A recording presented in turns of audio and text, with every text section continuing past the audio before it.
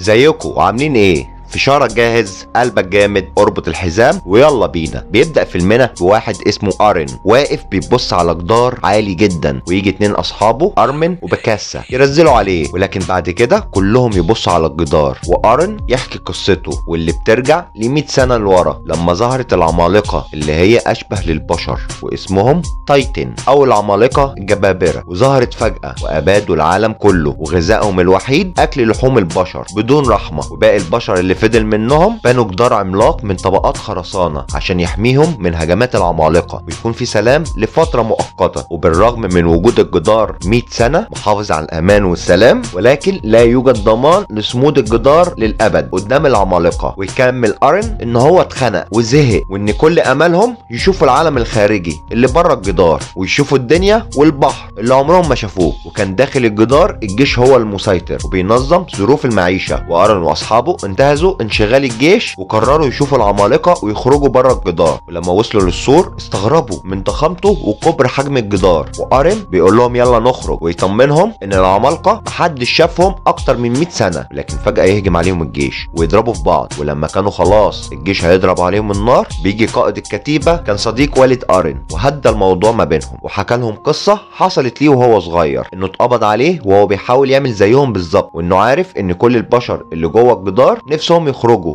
ويكتشفوا العالم الخارجي والحياة اللي موجودة خارج الجدار. ولكن ابسط يا عم إحنا كده كده في عملية استطلاع قريبة. ولكن خلي بالك الكلام ده بيني وبينك ومحدش يعرف عنه حاجة. هو أصلا مش هيلحق يرجع ليهم يقول لهم. وفجأة الأرض والجدار اهتز جامد ويسمعوا أصوات مرعبة وغريبة من ورا الجدار. ويظهر عملاق كبير جدا وأطول من الجدار اللي حاميهم 100 سنة. واتصدموا من المشهد لأن أول مرة يشوفوا عملاق بالكبر ده. والعملاق خبط الجدار برجليه وعمل فتحة كبيرة من تحت الجدار وساعتها دخل باقي العمالقة العاديين. وكده اتأكدوا لما شافوا العمالقة إن هم موجودين وعايشين معاهم والعمالقة دخلوا ياكلوهم. وعلى طول الجيش بيحاول يقاوم ويضرب عليهم قنابل ومدفعية ولكن بدون فايدة لأنهم خالدين. ولو اتصابوا أو اتجرحوا عندهم القدرة على تجديد نفسهم والتئام جرحهم بسرعة. والجنود لما تيأس وتلاقي مفيش فايدة من ضرب القنابل والمدفعية تهرب. والعمالقة مستمرة بالهجوم عليهم وبدأت تاكلهم. ولا كأنهم وجبة خفيفة ليهم واللي يفضل منهم أطفالهم تكمل عليهم وتاكلهم وهجموا على المدينة كلها.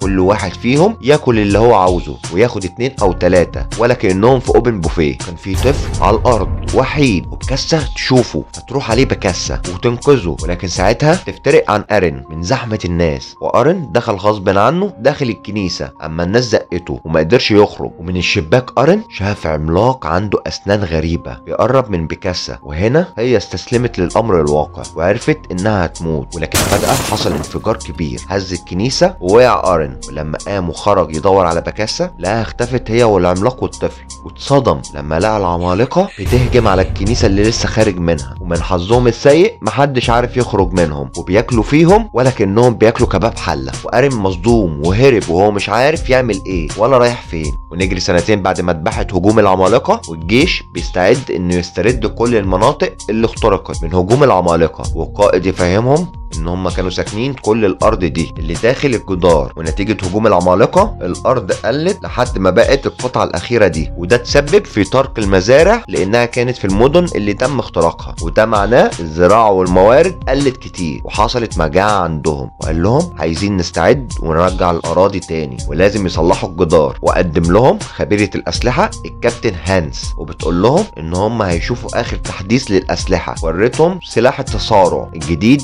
اللي هيقتلوا بيه العمالقه ولما جربته قالت لهم ممكن يقتل العمالقة وممكن يقتل الفريق اللي معاها كمان. لو استخدمناه غلط. وآرن وأرمن انضموا للجيش بعد ما عاشوا من المذبحة. والجيش استعد وهيعمل استطلاع. وآرن بيفهم أرمن واتنين انضموا للفريق. جدد هدف الفريق. وإن ليه دور غير الاستطلاع. وإن مهمته الأساسية تفجير الجزء العلوي من الجدار. ولما ينهار هيسد الفتحة اللي تحت. اللي فتحها العملاق الكبير. ورغم إنه هينقص شوية من فوق إلا انه هيكون أعلى وأطول من العمالقة العاديين وبكده هيقدروا يخلصوا على العمالقة اللي جوه الجدار. وقبل ما يتحركوا الكابتن هانس بتشرح لهم طريقة قتل العمالقة وإن نقطة ضعفها نقطة معينة في قفاهم لأن في أي حتة تاني أعضائهم بتتجدد تاني بسهولة وبسرعة. وإن أهم حاجة في المهمة دي الصمت وعلى الكشافة والفريق اللي معايا الصمت التام لأن أقل صوت بتصحيهم من النوم والعمالقة عندهم حساسية من الصوت وتوكلوا على بركة الله. ومشوا وخرجوا من الجدار. وأول مرة كانوا يخرجوا من الجدار من 100 سنة شافوا بقر ومواشي وهنا عرفوا معلومة جديدة إن العمالقة ما بتاكلش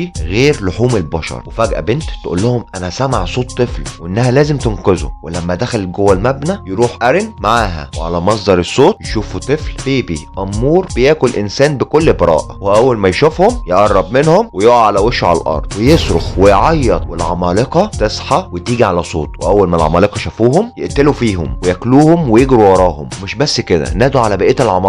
اللي في المنطقة وهيعملوا حفله عليهم وييجوا على الوليمة. والقائد قرر يمشي ويسيب مجموعة الكشافة وراه وجريوا ويا عيني الكشافة ما لقتش حتة تهرب فيها. فجريوا على أقرب مبنى ليهم ولكن اتحصروا من العمالقة. وفجأة يظهر الكابتن شيكي شيما قاتل محترف وقدر يضرب العملاق اللي واقف قدامهم في نقطة ضعفه ويقتله. وتظهر المساعدة بتاعته وشها مش باين. وبرضه مدربة ومحترفة وتقتل العملاق بسهولة. وتطلع بكاسة. صديقة أرين لكنها ما تديش أي اهتمام لأرين ولكنها عارفاه وزي ما ظهروا شيكا وبكاسة فجأة اختفوا فجأة وراحوا يخلصوا مهمة مطلوبة منهم وهي حماية المتفجرات لأنها آخر أمل للأرض. كان القائد مخبيها في مخبأ سري تحت الأرض وفي نفس الوقت جند اتهم أرين إن هو السبب لجذب العمالقة وإن هما لما كانوش دخلوا المباني جوه كان زمانهم كلهم لسه عايشين ولا واحد مات فيهم واتخانقوا مع بعض. وتيجي بكاسة بحركة كونغ فو تجيبوا الأرض وتمشي من سكات وأرن يروح وراها ويلاقيها قاعدة بتعزف لوحدها فيقول لها أنت بتتعاملي معايا كده ليه؟ فتقول له على طول الطفل الصغير اللي أنا كنت طالع احميه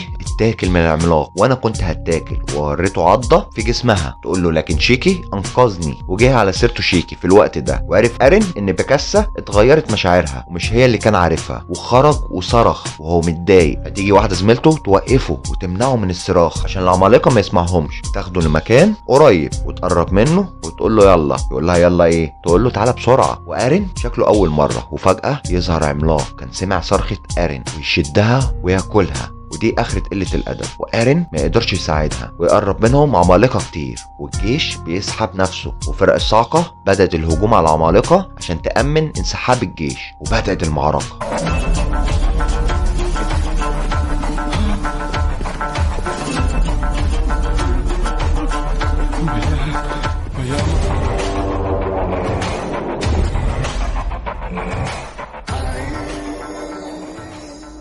ولان الجنود ما عندهمش الخبرة اللازمة للتعامل بأسلحة التصارع اتاكل كتير منهم. ولما واحدة اتاكل جوزها أقسمت إنها تقتل العملاق اللي قتل جوزها. وفي لحظة غضب أخدت الشاحنة اللي فيها متفجرات كان المفروض يدمروا بيها الجدار. ودخلت فيه. حصل انفجار رهيب ولكن بدون أي خسائر في العمالقة لأنهم بيجددوا نفسهم بسهولة. وأرن مصدوم وقرر يحارب العمالقة ولأول مرة يستخدم سلاح التصارع ويطير بين العمالقة ولكن مش محترف. وهنا شيكي بدأ يوجه أرن إزاي يستخدم السلاح وقدر يعملها والله وبدأ يظبط نفسه وقدر يقتل واحد منهم ويفرح ولكن للأسف وقع في بق عملاق تاني وأكل رجليه ورماه بعيد جدا.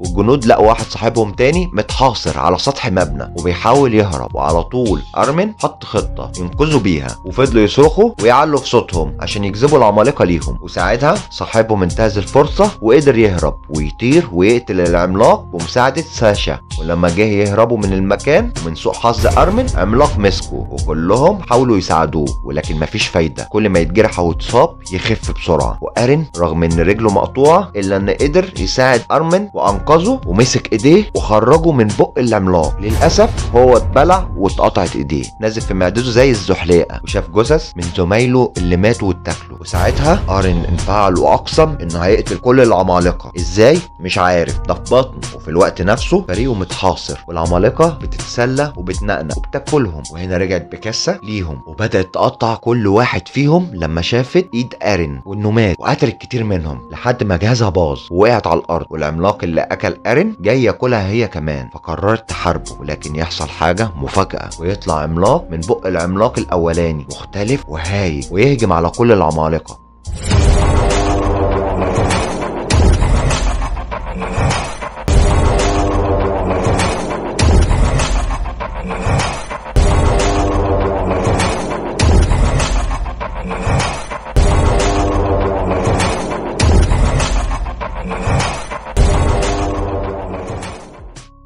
وكله يبقى مذهول. وبدأ فريق الكشافة كله يشك في العملاق ده لأنه نفس أسلوب أرين في القتال. وشكوا ساعتها إن هو أرين وتابعوا أسلوبه.